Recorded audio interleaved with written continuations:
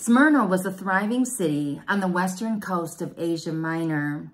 It was known for its schools of medicine and science. It was a prosperous city in the first century under Roman rule. It was a wealthy place and a center of emperor worship, including the worship of Caesar. Knowing a little bit of background on the Christians in that city would explain why they suffered so much. They would not bow to anyone except for Jesus. And so they were labeled as traitors and political insurrectionists. And you know, in today's world, Christians are often labeled crazy as well because we will not bow to anyone but Jesus. We preach that Jesus is the only way, which always goes against culture. Also in Smyrna, social and economic life was tied to pagan worship. So Christians were often cut off from making money. And as Jesus, so as Jesus says in Revelation 2 9, they suffered both persecution and poverty. The bishop of this city was a famous Christian named Polycarp. He was also burned at the stake in this city. We don't have much more written about Smyrna other than what's in Revelation 2 because there's nothing else written in scripture. I mean, we do have things about the city because of the history books and tradition and all of that. But one thing that we do notice is that the message that Jesus gave Smyrna was completely different than the message that he had given to the church at Ephesus. But one thing for sure we know is that we can gain such incredible present day principles from what's written about this church. Hey, we just love bringing truth to you. And it's our goal to bring at least two encouraging Bible messages to you every week. So if you don't want to miss anything, make sure to click the bell and subscribe to this channel. You can also help us getting truth to more people by simply liking this video, commenting, and then sharing it because when you do that, YouTube pushes these messages before more people. The message to the church at Smyrna is in Revelation 2, 8 through 11. So let's just begin this message by looking at what Jesus said. He said, write this letter to the angel of the church in Smyrna. This is the message from the one who is the first and the last, who was dead but is now alive. I know about your suffering and your poverty, but you are rich. I know the blasphemy of those opposing you. They say they are Jews, but they are not, because their synagogue belongs to Satan. Don't be afraid of what you are about to suffer. The devil will throw some of you into prison to test you. You will suffer for 10 days. But if you remain faithful, even when facing death, I will give you the crown of life. Anyone with ears to hear must listen to the Spirit and understand what he is saying to the churches. Whoever is victorious will not be harmed by the second death. Unlike the church at Ephesus, the church at Smyrna did not receive rebuke from the Lord, only mercy. But what's important to know is that this from this church, we can gain invaluable and practical information for 21st century living. So I want us to start with verse 8 because it would be really easy to just jump right into what Jesus says to the church. But with all of these messages to each church, he begins by telling them a little bit about himself. He introduces himself. And so this is what he says in verse 8. This is the message from the one who is the first and the last, who was dead but is now alive. No, Jesus said this about himself several times in the book of Revelation, including in Revelation 22, 13, where he says, I am the Alpha and the Omega, the beginning and the end. Alpha was the first letter of the Hebrew alphabet. Omega was the last letter.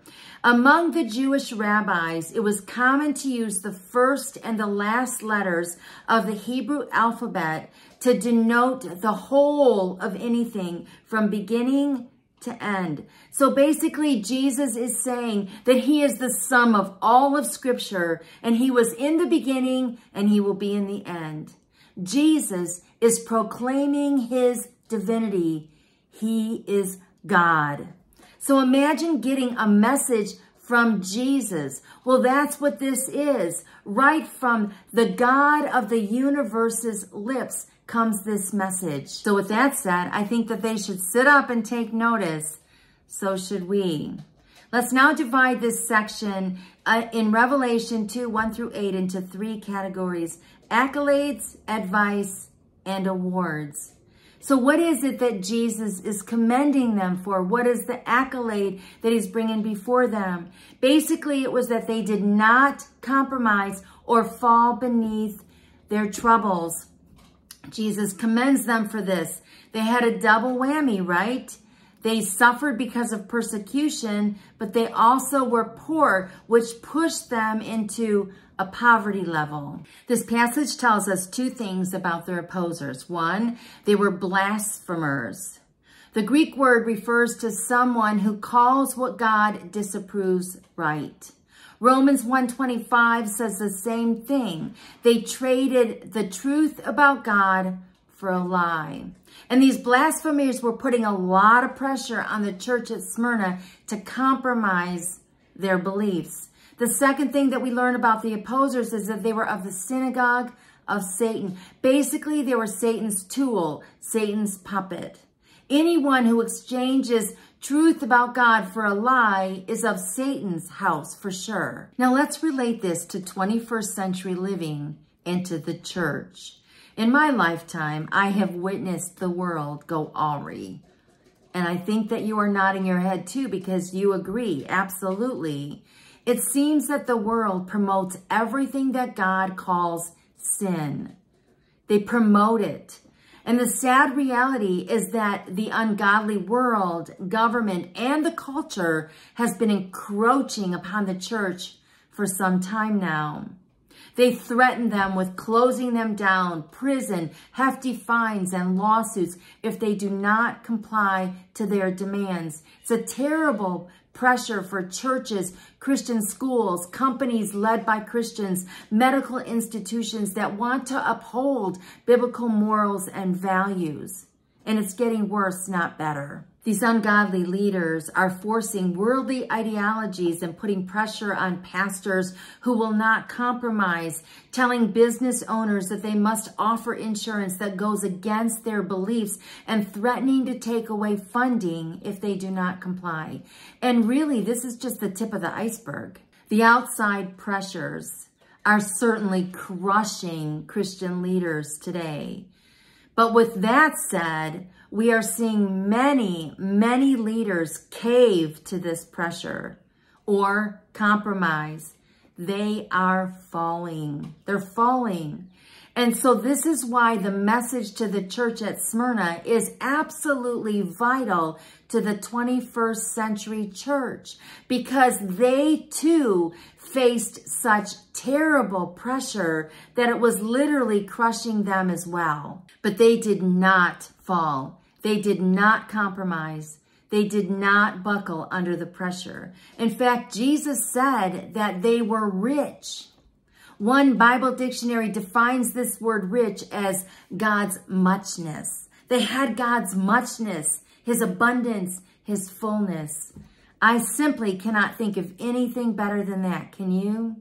That's why I would rather stand on the side of truth and not buckle to the pressures of the world because when I do and when we do, we are given God's fullness, his abundance. What a beautiful testimony to those who have not fallen but have stood on the side of truth. They have not caved to the pressures coming at them. Let's now cover the advice that Jesus gives to this church.